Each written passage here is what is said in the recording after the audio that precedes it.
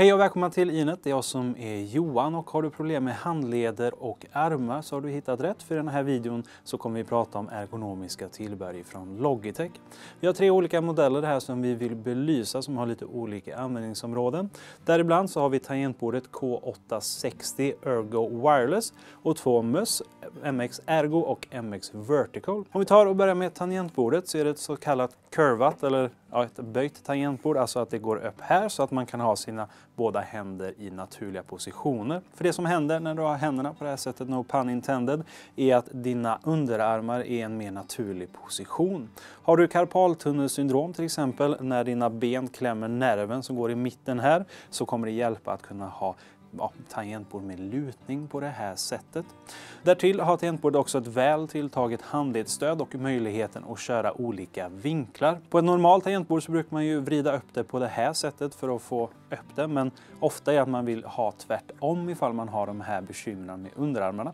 Så istället så sitter det stöd här så att man lyfter upp baken och får en negativ lutning så att man kan sitta rakt och högt och ha armarna fallande. Det här kommer ju vara från person till person ifall man vill ha det, men det finns i alla fall den här möjligheten. Det här tangentbordet är för övrigt godkänt av United States Ergonomics, alltså att det är ett riktigt ergonomiskt utformat tangentbord. Men det är inte bara ergonomi i fokus utan det är fortfarande ett trevligt tangentbord tangentbord i övrigt. Så lite snabbt bara så är det ett chiclet style tangentbord och någonting som jag vill påpeka är att tangenterna här, i och med att de är delade på, så har de för stora tangenterna som är i mitten, vilket gör det enklare och mer förlåtande ifall man ska lära om sig ifall man inte använt ett tudelat tidigare. I övrigt så är det ett väldigt trevligt fullstort tangentbord, alltså att vi har numpad. Chiclet style-brytarna är tysta men distinkta och vi har extrem batteritid. Detta är dels för att vi inte har bakgrundsbelysning men också för att de är väldigt effektiva.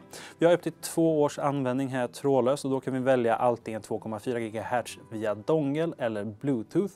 Dessutom så kan vi också koppla upp oss både till PC och till Mac. För det är nämligen så att vi har markeringar både för PC och Mac plus att vi kan byta.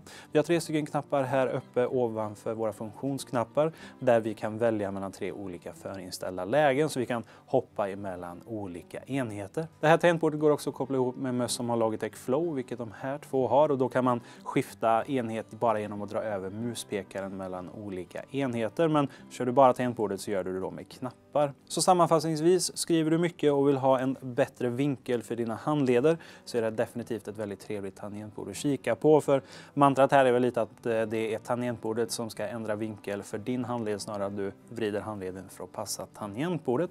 Och det gäller även på vår nästa produkt, nämligen MX Vertical.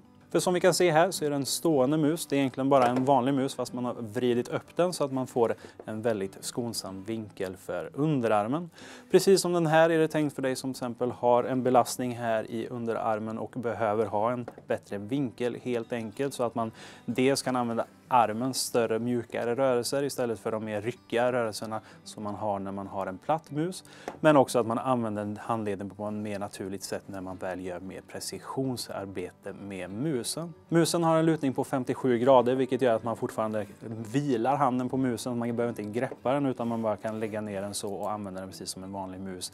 Bara att man då har handleden på ett annat sätt. Självklart är det annorlunda att använda en sån här mus och det är lite inlärningskurva för man får ja, lära om sig hur man använder både armen och handleden för att göra musrörelserna. Men när man väl har gjort det så får man en väldigt skonsam användning. Så som sagt, har du problem med underarmen så är det här definitivt någonting du ska spana in. Men musen har mer under huven än bara en ergonomisk utformning. Det är en väldigt modern och trevlig mus i övrigt också.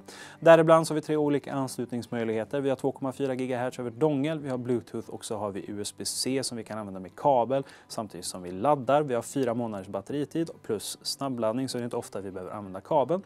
Vi kan dessutom koppla upp oss mot tre stycken olika enheter samtidigt och använda Logitechs Easy Switch, bara byta mellan tre olika som vi då alternerar mellan. Eller så använder vi Flow för den har som sagt då stöd för Flow så att vi till exempel kan byta enhet bara genom att flytta muspekaren men också att vi kan till exempel klippa och klistra mellan olika enheter som har stöd för det. Så MX Vertical är inriktad mot dig som då har problem mot underarmen men om du har problem att röra hela armen men du däremot har bra rörlighet i tummen så har vi MX Ergo istället. MX Ergo är istället en stationär mus, alltså att den inte har någon sensor under till överhuvudtaget utan den är gjord för att vara helt stillastående.